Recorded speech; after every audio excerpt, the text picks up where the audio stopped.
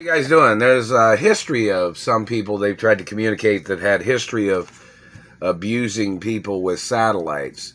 Now, I'm not sure which people, but there have been, you know, they have communicated certain political families have been involved in torturing me from satellite. And some people know who some of those people are because they were former presidents and for uh, former political families, or their political families in America that was trying to steal my family wealth